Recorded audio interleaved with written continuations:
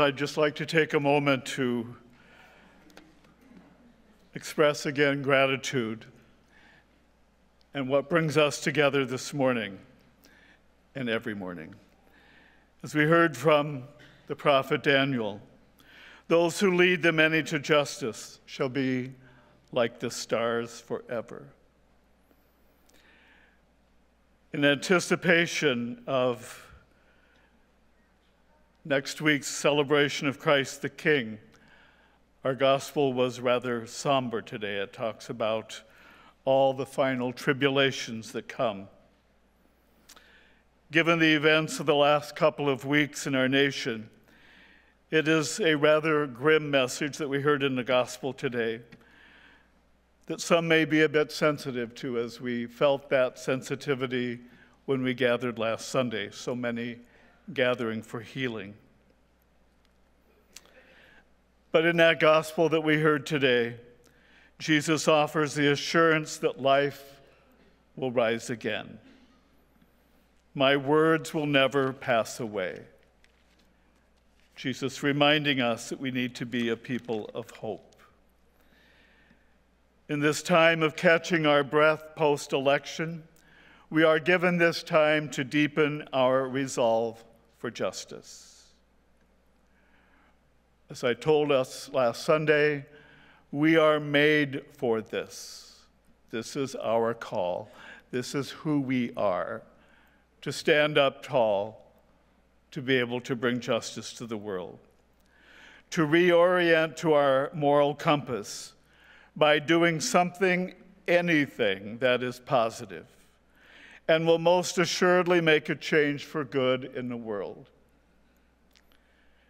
As we heard from Ed today, and you'll hear from me, and you will always hear from me, do I ever have an opportunity for you today to do good in the world? Again, I remind us of the words of Kamala Harris.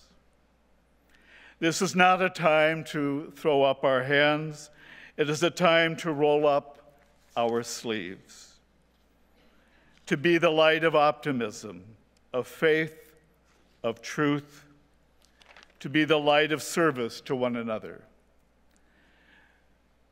This past year, after almost 25 years, I felt that it was time to make a choice to now serve as chair emeritus to Arm in Arm in Africa.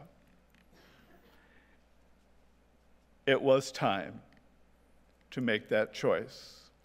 It was time for that 25 year old that we've raised together to have a new breath of leadership and to be able to open up the window to the next 25 years. And as I mentioned, I am so proud today that the board unanimously welcomed Ed as our new chair. We have indeed set our sails for the next 25 years. In a phrase, it was time to move from being an organization that Ed talked about that provided gifts of food, health care, and education to being an organization that encourages self reliance and empowerment. I could not be more proud. I could not be more excited. As a matter of fact, I am making plans to be able to stand in this very spot as we celebrate our 50th anniversary in 25 years.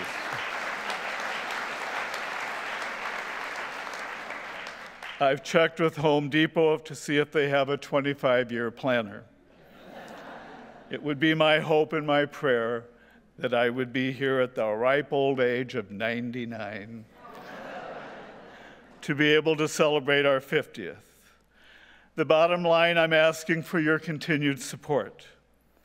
I am extremely grateful for all that you have been willing to do in order to empower Arm in Arm in Africa over these years. As our mission and vision continues to expand and mature, please remember the partnership that we that we have built together. I quoted the Brazilian author Paulo Coelho last Sunday and got a lot of feedback on that quote. I share it again today because it's most appropriate. The world is changed by our example, not by our opinion. The world is changed by our example, not our opinion. Thank you for your example of trust, generosity, and a willingness to be a light of justice. I thank you on behalf of our cousins in Africa from the bottom of our hearts. Thank you.